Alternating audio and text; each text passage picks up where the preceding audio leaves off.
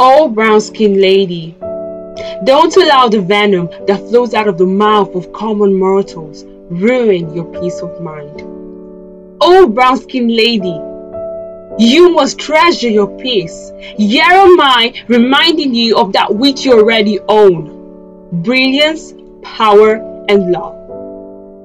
Oh, brown skinned lady, the Maker made you perfect.